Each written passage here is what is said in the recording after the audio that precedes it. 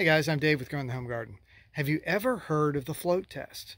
Now the float test is basically a, a, a simple thing that you can do uh, to see if certain types of seeds are viable. This is particularly useful for very large seeds uh, like acorns, which is what I'm going to talk about today. You see, we've got this beautiful oak tree that's right on the border of our property and it drops tons of acorns, at least it did this year. And they look like they're in really good shape and so I'm going to try to grow some of those oak trees. And today we're going to do a float test. So let me show you. So you can see in this bag, I've got a bunch of little acorns here. They, I tried to pick the ones that looked the best, that didn't have cracks or holes or things like that in them and you can see about their size right here. They look pretty good. Now what we're doing with the float test is we're testing to make sure that there are no hollow areas within these seeds. Because if we do have a hollow area within the seed, that could mean that there was an insect that penetrated into it and created a hollow cavity for oxygen to get in. Or it could mean that the seed is too dehydrated to actually push forward and create roots and eventually grow. So what we're going to do is we're going to put this in a bucket of water. Here I'm just using a kitty litter container that's been washed out and cleaned. And we're just going to throw them in.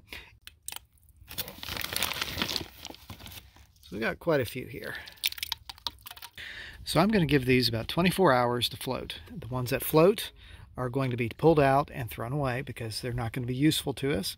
Uh, the ones that sink are the ones that we're going to keep. These have been in here about two minutes already and I see I've got two down at the bottom and a lot of floating right now.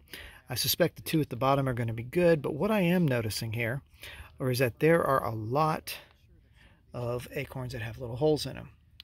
So I may as well take out the ones that have the holes in it because those probably are not going to be viable because they probably had a creature going around on the inside and eating them out on the interior of the acorn.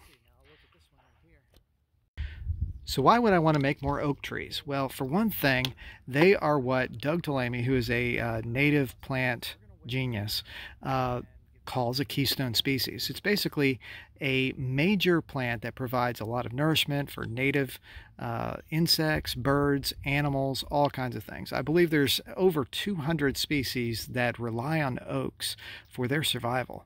So I think it's really important to uh, encourage these plants to grow and find ways to get more of them in our area. So like in my yard, I've got a ton of invasive plants that I need to get out of here. And in doing so, I will open up the areas for native plants like oak trees to grow. I've been through the woods today and I found lots of little seedlings of oak trees out there. But why not encourage more to grow and maybe give some of these away or sell them to people in the local area so that they can put them in their yards and their gardens and grow oak trees that are going to help support the native uh, wildlife. So that's kind of what I'm thinking about with these. And as you can see here, we've got a lot of them that are in this bucket, and that could be a lot of potential uh, trees in the future. So we'll just wait and see what these do, and then go from there. Okay guys, it's been a little over 24 hours, and I wanted to check on these acorns. So let's take a look and see.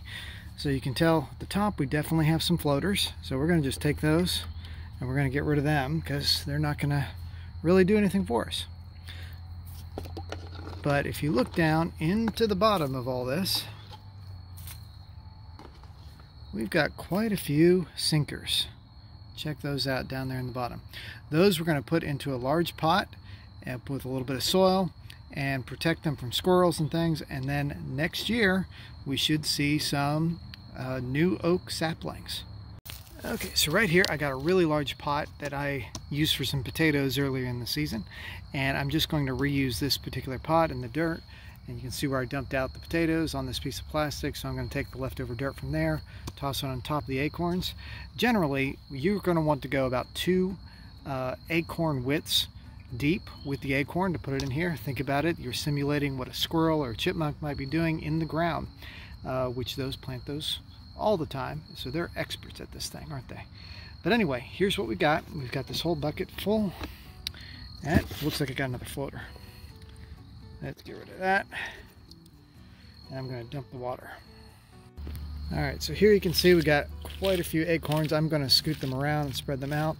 And what I will most likely end up needing to do is separate them out later as they grow into seedlings. We'll have to do it early on, soon after they are germinated but we'll squish those down so they make good contact with the soil. And then we're going to take some dirt, and put over top of them.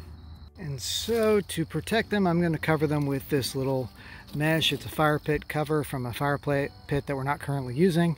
Ideally, you'd want to use some sort of chicken wire or something like this, but this should work okay as long as the squirrels don't decide to come up and through the little holes there and the gaps, in which case I'm going to need to move things around. But that's really all there is to it for now, and now we got to wait until spring. So hopefully when spring comes, we'll get a lot of great germination from these oak trees and be able to pot them up individually so they can grow on uh, and be nice, strong oak trees to help our environment, to help the forest, the gardens, all the wildlife around us. So I'm Dave with Growing Home Garden. Hope this was interesting. If so, hit the like button, subscribe, and we'll catch you next time.